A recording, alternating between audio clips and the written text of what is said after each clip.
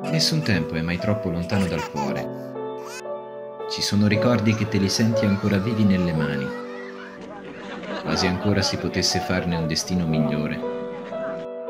Ma si può vivere soltanto in avanti. Siamo fili su cui la vita, giorno per giorno, inanella perle